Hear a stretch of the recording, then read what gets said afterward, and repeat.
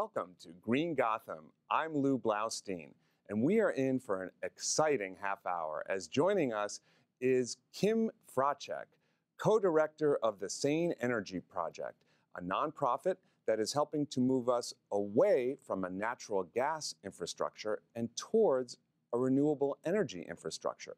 But even more than that, Kim is an anti fracking activist and is a radical. So this is going to be exciting.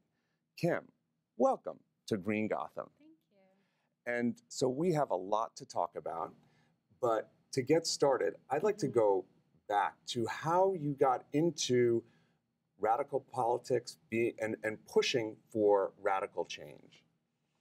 Um, well, I was a teenager, and uh, when much of this will start. yeah, um, um, I listened to punk music, um, and uh, a lot of the the folks that I hung out with in West Philadelphia were anarchists, and a lot of them were, you know, elder anarchists, and really um, taught me a lot about politics, and really opened me up to a different way of living our lives outside of the system. And um, I got involved with learning so much just about like the natural world, learning how to cook different foods using natural medicines, um, and um, and then I met um, the the the Move group, um, the Africa family, and a lot of stuff that I had learned on television when I was a little kid in 1985 when they had bombed the Move house. I remember that. Um, yeah, like I had, you know, I was a little kid, and so my notion of that was that they did something wrong and the house was on fire. I, you know, I was 10 when it happened. I, How could you think otherwise? Right. And then once I became, you know, 16 and had more critical thinking skills, I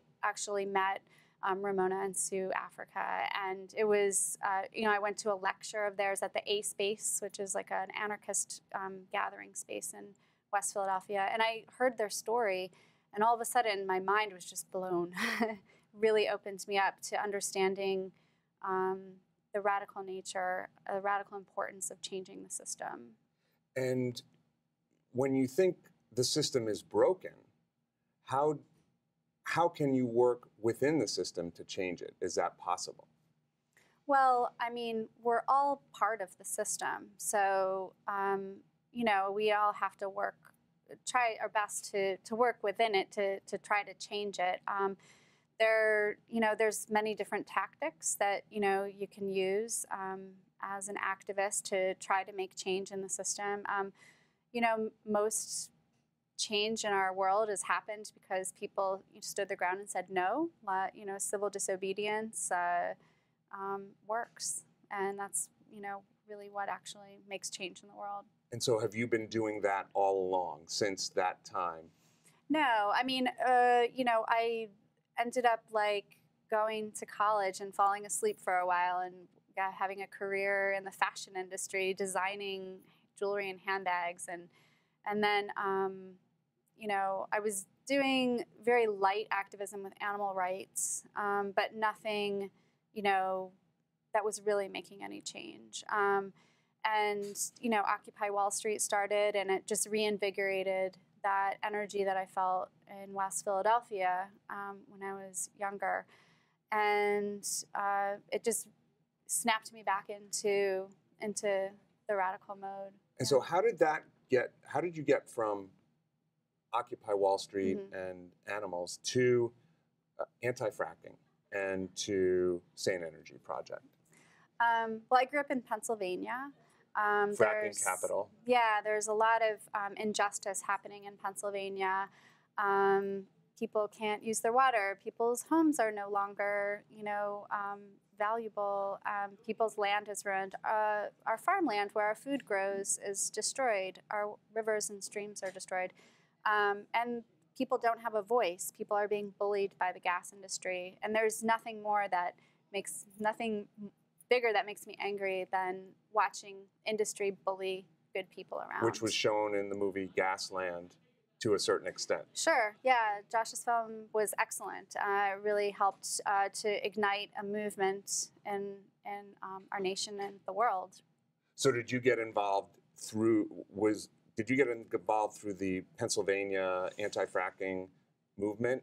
and then bring it here to New York? Well, I was living in New York City, and uh, Spectra Energy um, wanted to bring a fracked gas pipeline into uh, the West Village of New York City, and a bunch of us in Occupy sort of had caught wind of that, and we decided to get involved and and uh, and create a movement around that. Um, because most New Yorkers don't even know that this exists. Like, at the time, most New Yorkers did not even know what fracking was. So we definitely had to figure out our campaign was ranging everything from general education to notifying people that this was happening without their um, input, knowledge, um, and you know that's a really big hurdle to climb. Um, Especially when the natural gas companies and the industry put these really kind of shiny and pretty uh, public service announcements and ads that talk fracking is safe. Sure. Let's, you know, we're having an energy revolution, et cetera, et cetera, et cetera. Yeah. And you have to combat that. Right. And yeah, I mean, we're money. up against multi-million dollar PR firms hired by one of the biggest industries on the face of the planet. Um, so it's a it's a hurdle. Um, however, we have truth on our side, and you know, um, civil disobedience has historically worked. Um, and uh, yeah, so we had formed this movement um, around the Spectra pipeline, and I think we did a pretty good job of getting the neighborhood at least knowledgeable about it. Um, you know, a lot of members of our group locked ourselves to equipment. Um, we shut down the West Side Highway with giant caution tape, um, notifying people what was going on. And, you know, it garnered some press, um, which was good. That's always good to help us get the message out. Um, but, you know, inevitably, that was back in 2013 when the pipeline went live. And, you know, 2011, 2012 was when we were really in the, in the in the heyday of fighting it. Um, and we lost. The Spectra pipeline is now live. Um, it actually, the vault of the Spectra pipeline, is, which is where it connects to the Con Edison system, um, is in the basement of the new Whitney Museum of American Art. That is mind boggling. It's mind blowing, especially when the Whitney is saying to the world, "Oh, we're this, you know, new architecture. We are sustainable you know, so we started a movement um, called the whitneypipeline.org and we decided to call them out and we will continue to put pressure on the board of directors until they have a public meeting with us and we figured the best thing that we can do is have a discussion with them so they can start highlighting that we have to shut down gas infrastructure um, we the knowledge that we do have of this is that Originally, a few members of the board uh, did not want to move the Whitney from the Upper East Side downtown. And there happened to, we still have to figure out where the pieces of the puzzle fit in here, but um, there was a generous donation from Bloomberg, Mayor Bloomberg, who's very, you know, big into conversions of our boilers to natural gas because he's very tied into the industry. Um, the Whitney received a large donation, and all of a sudden, all the board of directors were very thrilled to be downtown. So we are still trying to put those puzzle pieces together. Um, but in the meantime, we know that this is have they a heard you at least yet? I mean, they've they... heard us. They have definitely heard us. We were featured in the New York Times um, because of the large action that we did there with um, our friends at the Illuminator. Uh, we projected a giant movie on the side of the Whitney, and we had um, a, a ribbon cutting opening before their main opening with the Guerrilla Girls, which is another historical, amazing radical arts group um, talking about women in art museums. So, and, yeah. and I would think that the High Line, which is it's right there, mm-hmm. that because they're talking about natural beauty and and, and nature, mm-hmm. that they would be on your on your side. One would think. Um, the High Line is also very tied into the economics of the city um, and into the economic infrastructure of how the city is going to grow. Um, and uh, you know, the natural gas industry is is very big. We have we're going to have to figure out where to place our puzzle pieces moving ahead. I do know that from our fight here in the city, we have really helped to uh, teach and lay a pathway for others that are fighting large infrastructure projects and all over the region in New York State and New Jersey, like things that we learned, ways things that we learned from our losses, we've been able to share with them, um, and they've been able to grow a larger movement. And the movement's definitely growing. And I think that it's important to learn from your losses Mhm. because that's going to sow the seeds for future wins. Absolutely. And so to me, what's really interesting about this is that you're focusing on natural gas. Mhm. And to the public at large, even the public who thinks they are well versed on green issues, think, ah, coal bad, natural gas good. Sure. Oil bad, natural gas good. You know, Obama, It's all marketing. O- It's- Obama, you know, um, all of the above. Bridge fuel to the future. But the dirty, really dirty little secret is fugitive methane uh, leaks when natural gas, in, in the process of burning natural gas. Maybe you could talk a little bit about Mhm. how bad natural gas is. Well, I mean, fugitive methane leaks is just one of several different issues. Um, I mean, the entire process of fracking from cradle to grave, you know, uh, they are mining sand in the Midwest, and the the mining of this sand is so giant that it's you know blowing over towns. It's taking over towns. You know, the silica dust is blowing through schools, giving kids cancer. Um, you know, they're developing silicosis and um, you know that's just one part the, The you know water. they're taking water from our rivers to you know each well needs two to eight million gallons of water for per fracking well let alone you know mixing it up with the sand and a whole cocktail of chemicals that the law is on their side where they don't have to disclose those chemicals those are and you know what we have learned from testing is that you know, there's some very serious cancer causing chemicals in there that are seeping into our water. And so, with all that said, that's a perfect segue into the Sane Energy Project Sure. because, so the so called good natural gas, the clean natural gas, don't shoot the messenger, Okay. uh, is that's the infrastructure that's being built. You want to change that to a renewable energy Absolutely. infrastructure. And how do we get from A to B? Well, we're working on that. I mean, right now, um, there is a large growing network. Um, we mainly focus, um, Sane Energy Project focuses on New York City and New York State. Um, you know, the, the infrastructure build out from the drilling in the Marcellus Shale in Pennsylvania um, coming through New York State as a conduit. Um, so all this can be sent out for export to sell for the highest international bidder. Um, you know, I mean, the pipelines, the compressor stations, the waste dumps. We're taking uh, radioactive waste from the, the drilling in Pennsylvania and storing it in, in New York State.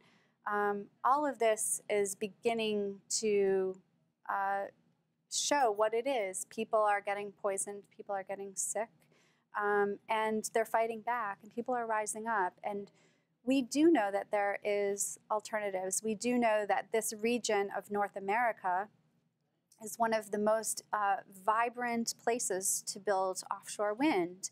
Um, we have uh, people who have made plans. Um, Professor Mark Jacobson from Stanford University has made an entire recipe for all 50 states on what each of the 50 states would need in order to go 100% renewable. Um, And it's not a pipe dream. I've seen that as well. I mean, it's absolutely. it's going to take some heavy lifting, Mhm. but it's It uh, takes it- change, and people don't want to change. It's possible. And, right, and this is where us having to radicalize things has to come in because people, you know, people don't want to see change. It's scary. Um, it, you know, you're going to have to do something different than what you're normally used to doing. Um, the policymakers are, are, you know, right now, NYSERDA uh, is is releasing NYSERDA our. is the new, just for the viewers, the New York State Energy Research Development Authority. So when you when you pay your Con Ed or whatever your utility is, when you pay your utility bill every month, a small fraction of that goes to fund NYSERDA, which in theory is then uh, using that money to fund renewable energy and other clean tech. I say in theory, in theory. in theory, clean tech projects. Now I hand it over to Kim to tell me where so I'm the wrong. New York State Energy Plan um, is is supposed to be uh, released. Um, um, this is now, Jul- you know, in, in early July, and uh, um, you know we've given our public comments on it. Uh, we want to see uh, our imagination and our energy, which we know we have, into putting renewable infrastructure in place. You know, a lot of the energy plan has glossy photos of, you know, wind turbines and Solar, uh, solar panels. panels, but you know, you look inside, and the majority of it is natural gas build out. That's a problem. Um, we can't be using, um, you know, these pictures of renewable energy if we're not really going to walk the walk. And we have the ability. I mean, humans have built so many amazing public infrastructures. We we can do this, and the only thing that we have standing in our way is Wall Street and you know shareholders and you know inertia. fossil fuel industry that doesn't want to let go of its profits. Um, so, uh, and it's it's a it's such a tough fight that it's almost like we can't actually work within the system anymore because the system is so rotten and corrupt that uh, it's impossible to really move them. So we're going to have to get together and and move them for for our future. But it seems like you. Uh, I'm not saying you, but the Mm-hmm. the the different groups in the movement Mhm. are at the same point while you're trying to build public movement and public anger and public ire Mhm. on this issue to get action. You're also working, trying to change things in Albany or trying to influence, you know, uh, decisions by the governor or in other states as well to ban fracking. Mhm. Now, and is that a real ban or is that a fake ban? we're not sure yet. yeah. But so speak to that a little bit. Um, sure. Uh, working with um, electoral politics is one tactic of a larger goal. Um, our larger goal is to shut down shale gas infrastructure and move us to a renewable future where you know our economy is run on tourism, organic farming, wine, wind power, wind generation, solar generation. Um, we actually can work towards that future. It's real, and um, you know so uh, there's several tactics that we can take to get there. Working with electoral politicians It's is just just, one one, way of many.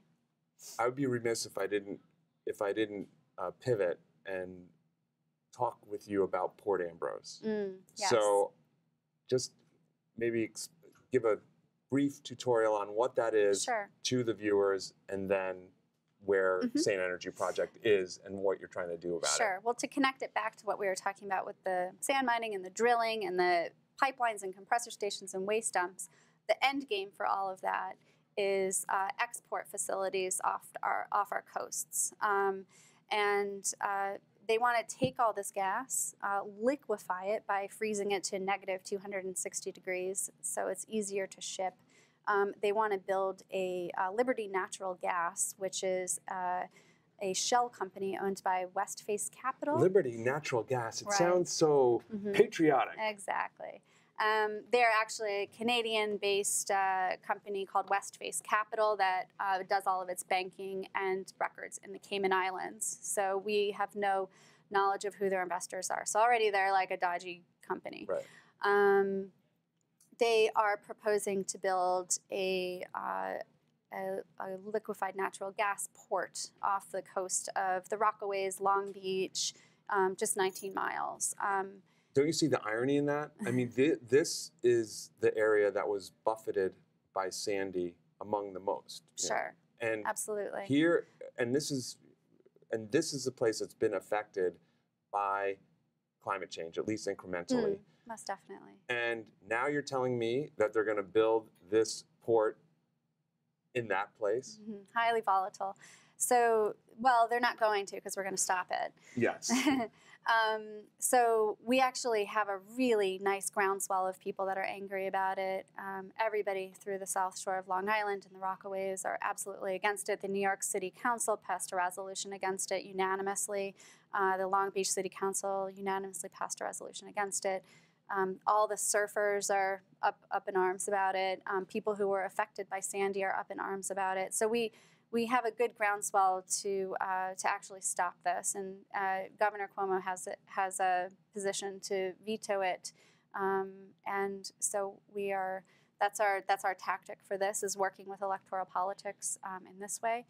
Um, uh, so anyhow, the uh, LNG is like will be a, a giant pipeline that goes off our underneath Long Beach, out out about 19 miles, and there will be two buoys floating out there where giant ships, um, anywhere between the size of the Empire State Building and the new Freedom Tower that's been built, um, will come in and these buoys will click into the ship and they will uh, fill up with gas, uh, liquefy it, and sail away.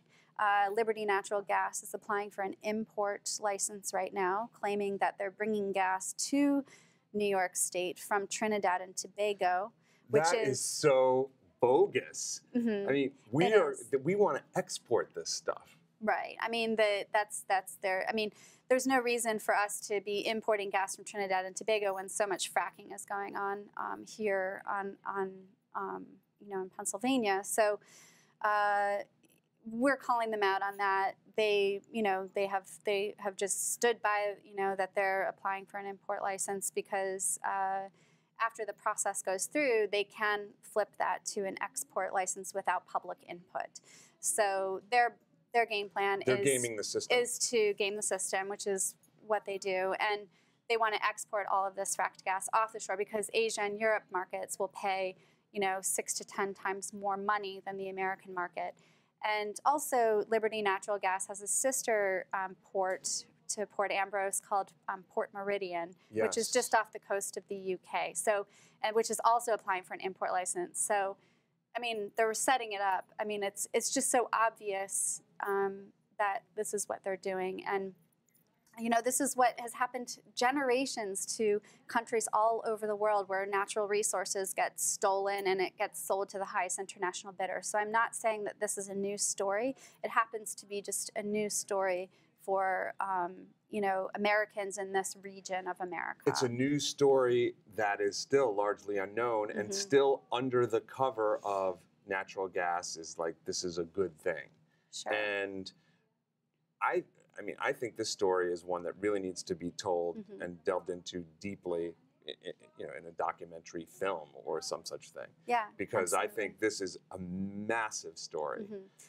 There is, uh, I mean, there is already um, Cove Point down in Maryland has already achieved their export license. So they're, uh, you know, running giant infrastructure, you know, build out right next to people's homes. Um, people move to Lusby, Maryland, to raise their families. It's a very small town, and uh, you know, these these giant uh, gas facilities are just opening up, and it's just destroying their their their their families, their towns, their health.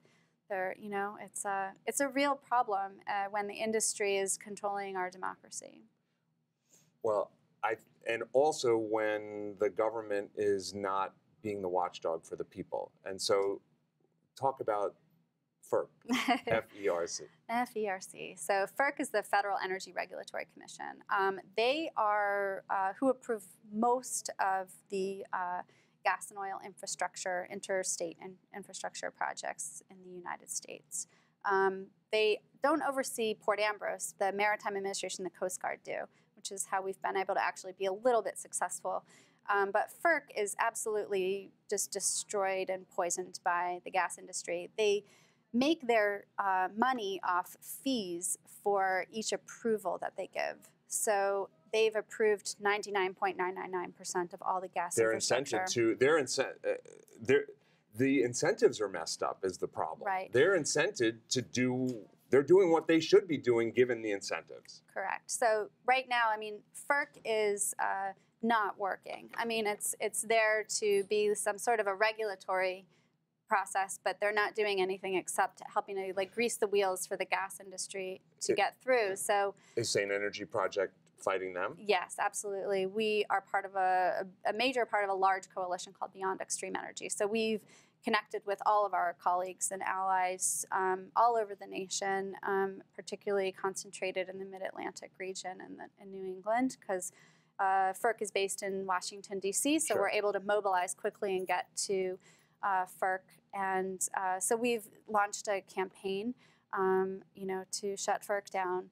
And um, I think you know it's it's going to be a large fight, but we will strategize in order to figure out how to shut them down because they're a bottleneck of the natural gas industry, and so The incentives needs to change. That's that's they need to be incented to to be an honest arbiter, not to Sure. approve stuff.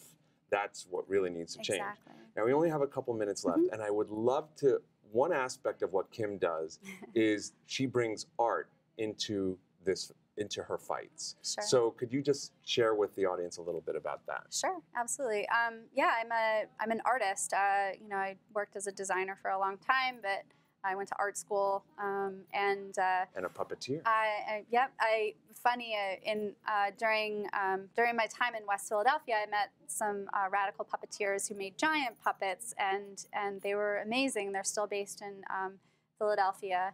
Um, and then when Occupy Wall Street started, all the artists and theater people all sort of like found each other somehow and started an arts and culture working group. And the, the People's Puppets was one of the, the groups that came out of that. And so uh, we've we still work together uh, twice a week, and we build uh, giant art to explain com- complicated narratives. So we'll build, you know, giant storybooks, giant puppets, put on shows out into the public square. Um, and one thing that I've really been able to uh, blossom with is building giant blockade art that is narrative, so people can see that uh, you know what's going on. It tells the story, um, at why we're standing there, why we're protesting. It helps to de-escalate the public. It helps to de-escalate law enforcement. Um, people realize that we're there as just simple people with a story to tell of injustice, and art has been a wonderful way to tell that story. And uh, so we'll we'll build art that will block, you know, um, you know the the entrance to FERC, for instance, with a Well- giant portrait of a family that is being injured by gas infrastructure. Well, I'm sorry for the family, but glad for the art. And you know Mhm. what? What we're going to do is I'm going to invite you to share some of the art with us on our Facebook page. Yeah, sure. And I want to thank you for being an amazing guest. And you know, now I'm I'm ready to be radicalized. Good. Thank you for watching and see you again next time on Green Gotham.